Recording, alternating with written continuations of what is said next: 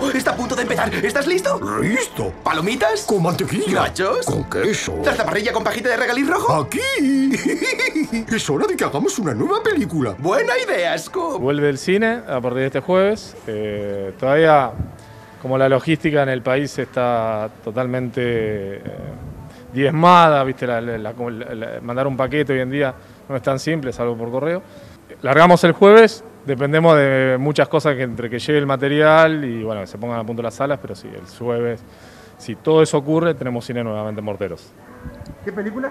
Scooby-Doo animada en formato 2D, porque 3D por la pandemia no se puede.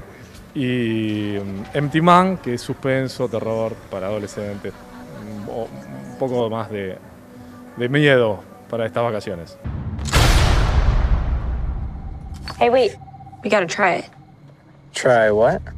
Calling the empty man. Who's the empty man? If you're on a bridge and you find a bottle, you blow into it. Básicamente son las mismas restricciones que tenemos para las otras actividades, distanciamiento y demás.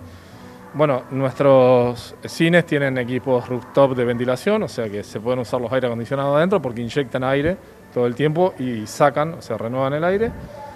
Eh, el protocolo provincial habla de 50% de la sala, así que no, respetamos eh, ese, porcentaje y vamos a ver cómo va a ser la distribución de las butacas adentro de la sala para mantener el distanciamiento entre grupos o familias, eh, que haya butaca de diferencia y demás. Nosotros tenemos todo, online, todo digital desde hace 8 años, 9 años, o sea, no es una novedad para ni a nosotros ni a nuestros clientes que están acostumbrados a, obtener sus entradas a través de una aplicación o- una página web. Las películas, o sea, no, ah, no tenemos la frecuencia. Hoy, qué sé yo, me mandaron algo de Córdoba el jueves y me llegó ayer. Antes te llegaba al día siguiente, ¿me entendés?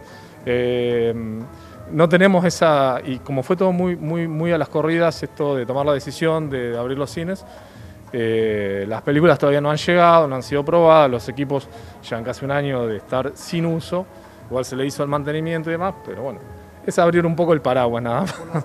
Sí. Eh, ¿Los horarios de las funciones? Todavía no están, pero va a ser Scooby-Doo, va a tener un horario eh, tentativo entre las 19.30 y 20 horas y el horario central de las 22, típico del cine. A ver, es- estas películas se, mantendrán en cartelera durante 15, 20 días, después nuevas películas, ¿de qué manera Hay, también? hay estrenos, hay estrenos, eh, va a haber, se está acomodando todo. O sea, ahora, hoy salió el protocolo nacional de, de cines, o sea, estamos esperando que Buenos Aires abra los cines para que aparezcan los estrenos masivos de películas. Hay muchas películas dando vuelta. El tema es que todavía no están confirmadas las fechas. Eh, cuanto más cines abramos, más posibilidad va a haber de estrenos porque la- la- las distribuidoras van a verse un poco más tentadas de estrenar las películas en Argentina. ¿Cuáles son los próximos estrenos? Y tenés eh, Tenen, tenés Mujer Maravilla, tenés eh, de los grandes, bueno, más adelante, Rápido y Furioso se vende po- postergando hace un año.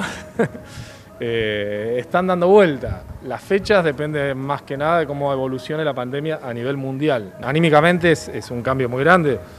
Tener las salas cerradas a tenerlas abiertas, digamos que, eh, te da otro, otro, otro, otro ánimo, otra fuerza. Seguramente va a ser muy duro porque hay que, va a haber que remarla con lo de la pandemia, hay una crisis económica. Los títulos no son muy, no, como, como una época normal donde uno tiene un cronograma de estrenos habituales y puede prever o, eh, a futuro. No, eso no lo tenemos, esa previsibilidad no la tenemos, pero sí eh, conocemos esto, tenemos las ganas y queremos arrancar. O sea, es lo que sabemos hacer y es lo que queremos. Que las salas vuelvan a tener de a poco su público, que la gente nuevamente eh, se anime a salir, eh, que vengan los chicos al cine, que, que se mueva un poco todo ese circo de las tipas que, que nos tenía acostumbrados a- a la zona.